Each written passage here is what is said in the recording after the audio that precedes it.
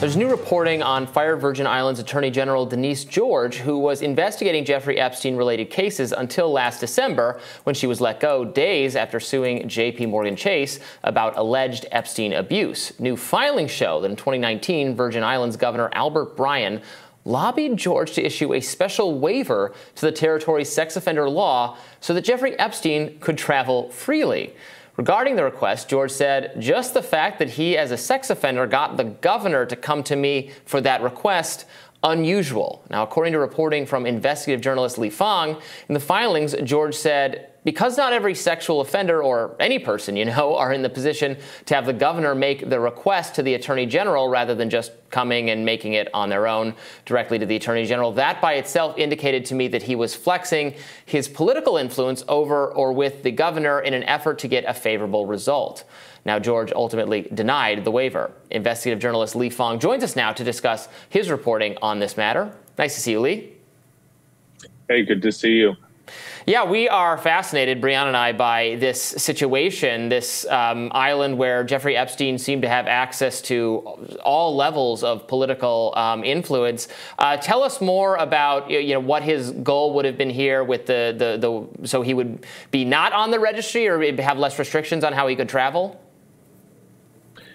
Yeah, that's right. You know, here uh, in the mainland U.S., we kind of the press has tended to focus on Epstein's high level connections to famous bankers and politicians, um, other, other elites, academics. Uh, but you know, there's another side to this Epstein scandal that is entirely focused on his uh, influence within the Virgin Islands. You know, after uh, his conviction for child prostitution charges in 2008 in Florida, uh, Epstein moved his parole to the Virgin Islands. He really kind of focused his political influence in the Virgin Islands, perhaps because he believed he could more easily manipulate the process in this very small territory. He donated uh, large amounts to various political figures. He really kind of bought huge amounts of political power within the upper echelons of the Virgin Islands government. And, you know, uh, this story is, is, I think, very interesting because you know as we've had this ongoing litigation between the Virgin Islands and J.P. Morgan, we just see uh, disclosure after disclosure showing Epstein's uh, control over the top kind of uh, political power brokers on the islands.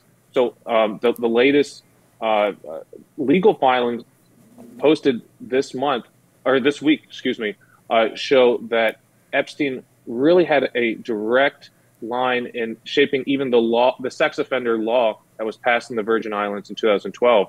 As the Virgin Islands was updating its sex offender law to comply with federal standards in terms of uh, notifying other states when he when sex offenders uh, were traveling, um, placing some restrictions on travel, uh, other disclosure requirements.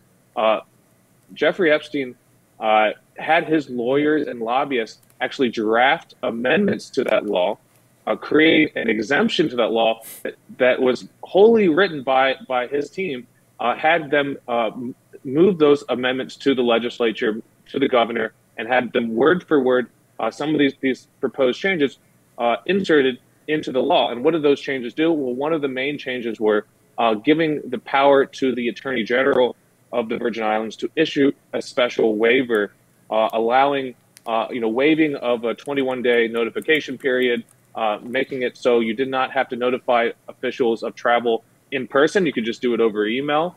Um, really allowing Epstein to just come and go as he pleased. Uh, uh, uh you know, unlike sex, sex, offenders in other states, and Epstein was able to win uh, these changes to the law and then use his political influence with the governor's office in the Virgin Islands. The governor appoints the attorney general, and we had attorney general after attorney general granting these huge waivers. You know, allowing based Epstein to do basically whatever he wanted. Um, that finally changed in 2019 uh, when a new attorney general came into office, Denise George.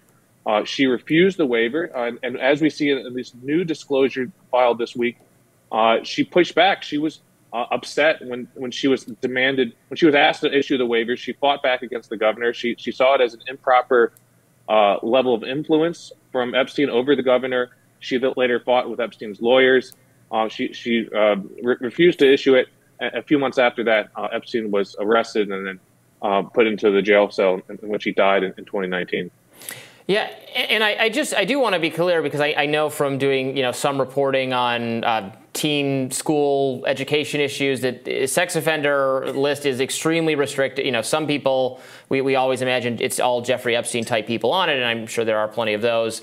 You know, there are also 16 year old and a 17 year old um, did something inappropriate and the 17 year old's on the list or like urinating in public or something like that. Or even people who committed serious crimes and then you know served years and years in prison and then are released and have a lot of restrictions on their movement. A lot of those people end up homeless because there's like literally nowhere they're zoned to be able to live because of the registry. So I think there are some issues, in, in my view, there are some serious civil liberties concerns with these registries in general. But it's um, it's amazing. It's a scandal that like the one person who can get out of that is is the one who committed the most vicious and heinous of all the sexual crimes over and over again. No, I, I agree with you, Robbie. There are issues with the law here is a tier one sex offender, someone who was uh, convicted of child prostitution charges, uh, who had this is also an, equal justice, you know, uh, access to the law issue. Here's someone who actually could rewrite the laws through his own through his own checkbook, uh, buying off legislators. You know, uh, even doing the kind of the old school Tammany Hall thing. Uh, the, the records show that Epstein would buy turkeys for the local legislators to give out uh, he would he would ask the governor, you know, which charities do you want me to donate to? I'll give it to the you know the little league team, the the volleyball team, what have you. Uh, giving it to schools, you know, just cutting checks to super PACs, giving the twenty five thousand dollars here and there to inauguration parties, uh, putting the uh, governor's uh, wife. Uh, the, the former governor de Jongh on his payroll to be his personal lobbyist, and then paying the tuition for the governor's children to, to go to school his level of influence was vast, uh, spending hundreds of thousands of dollars per year on this type of thing.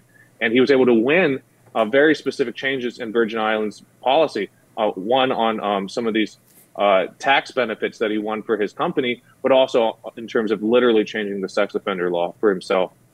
So Denise George seems to be an outlier here in the Virgin Islands as someone who was willing to go after Epstein, who rejected the cha these changes to the law that he had advocated for and frankly written, um, who had recently secured a $105 million settlement from the estate of Jeffrey Epstein um, last year when she was then suddenly terminated, I think around January or the very, maybe the very end of last year.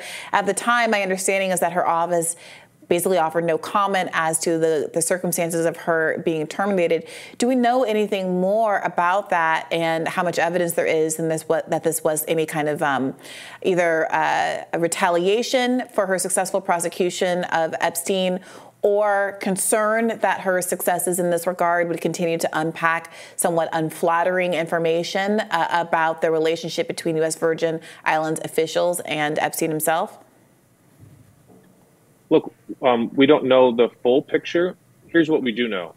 Uh, on New Year's Eve last year, Governor Bryan kind of unceremoniously surpri- surprised everyone by firing Denise George. She had really aggressively led the, the investigation and prosecution of Epstein related cases, you know, uh, investigating and prosecuting his estate, going after some of these other actors, uh, filing that lawsuit against JP Morgan that's now unfolding in, in federal court and suddenly Governor Bryan fires her. And you you look at the press around that time, some of the social media chatter in the Virgin Islands and here in the U.S. and in the mainland U.S. You you see uh, a lot of suspicion that this was related to her aggressive drive on Epstein-related cases, and uh, now we see this deposition taken uh, last month and reported uh, for the first time uh, yesterday uh, that she faced a very unusual pressure uh, campaign from Governor Bryan to, to give leeway to Epstein um, in 2019. And so it's clear that there was some sort of tension around how much influence Epstein had over this governor. And in, in fact, uh, because of her lawsuit filed against JP Morgan and JP Morgan's counterclaims, uh, we, are seeing more and more disclosures around how much uh, power Epstein had over this governor who fired her. Um, you, you, see emails now coming out in the litigation uh, with Cecile de Jongh, the former lobbyist for Epstein, uh, connecting uh, the pair, uh, offering Epstein ways to influence the governor, uh, basically forwarding on messages from him saying that he wants more money for his various charity causes or you know more money for his uh, political party. Um, there was a, a, close tie here that perhaps the governor did not want disclosed, and he knew that this type of litigation and investigative drive uh, from Denise George would have revealed his own mm. connections uh, to this convicted convicted sex offender. Mm, incredible, uh, Lee. Thank you so much for staying on top of this. Uh, we look forward to talking with it, you, talking about it with you more in the future. Thanks for having me.